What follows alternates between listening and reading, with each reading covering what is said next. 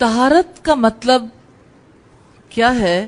تہارت سے مراد ہے ناپاکی اور نجاست کو دور کرنا۔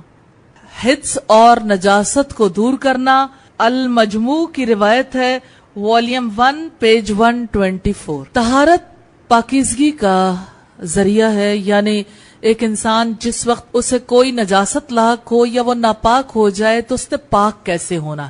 اللہ تعالیٰ کا یہ ارشاد ہے ان اللہ یحب المتطہرین یقیناً اللہ تعالیٰ پاک ہونے والوں سے محبت رکھتا پہلی بات تو تہارت ہے۔ تہارت میں بنیادی بات آپ نے کیا دیکھی؟ ناپاکی اور نجاست کو دور کرنا۔ یہی بات ہے نا۔ ایک چیز ناپاک ہے۔ مثلا یہ ناپاکی کیسے لاحق ہو سکتی ہے؟ اس میں یہی ڈسکشنز ہیں۔